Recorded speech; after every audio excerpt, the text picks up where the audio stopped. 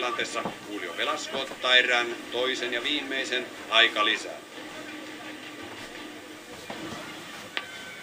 Rukette ja Bernardi, Kantakalli siinä kuuntelevat Julio Velascoon tämän herrasmiehen luentoa siitä, miten Euroopan mestaruus vielä otettaisiin, miten peli vielä kirkastuisi Italialle. Vaikea se on. Vaikea se on. Neuvostoliitto voitti ensimmäisen erän 15-11 ja toisen thrillerierän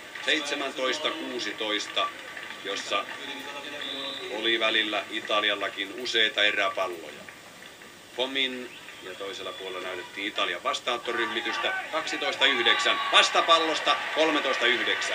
Neuvostoliitto kahden pisteen päässä Euroopan mestaruudesta ja tämä uusi poika, nuori mies Gorbunov näyttää olevan todellinen pelimies. Hän torjuu hyvin keskeltä ja jysäyttelee palloa kenttään. Dmitri Fomin. Kaksi pistettä vielä ja Euroopan mestaruus on selvä. 13-9. Jälleen vaikeuksia Italialla. Nyt oli kyllä kosketus melkein väärältä puolelta. Ei ollut. Piste lisää. Erä ja ottelupallo. 14-9. Italialla ei ole enää aikalisia. Vaihto tulee. Näyttää Julio Velasco. Ja nopeasti vaihto.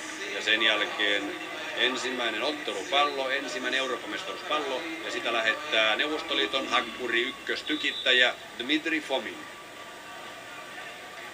Tuosta se lähtee hyppysyöttönä, ottelupallo. Vaikeuksia vastaanotossa, ei mennyt pallo ainakaan passarille, eikä saatu minkäänlaista hyökkäystä aikaan. Ja nyt tulee Neuvostoliitto, ja nyt taitaa tulla armon isku.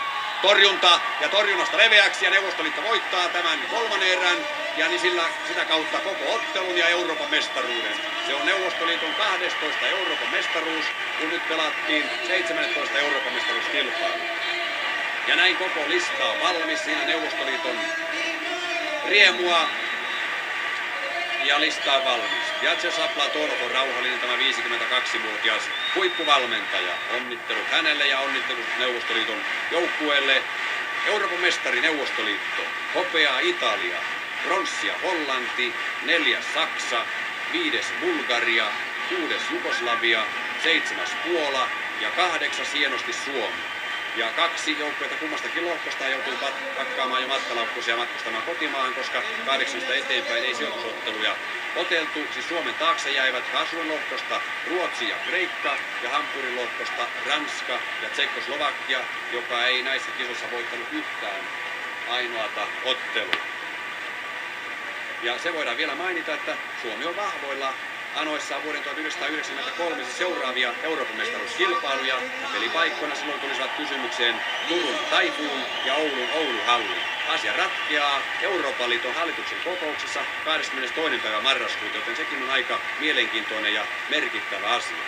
Kiitoksia hyvät katselijat seurasta. Toivottavasti olette viihtyneet näiden lentopallo-ohjelmien parissa, vaikka selostuksen kanssa olikin hiukan takkuista, kun täältä Tohlopista yrittelee selostaa. Kiitoksia kuulemiin ja oikein hyvää jatkoa. Siellä Platonov lentää ilmaan viisi kertaa ja otetaan yhtä monta kertaa hellävaraisesti kiinni. Neuvostoliitto on Euroopan mestari.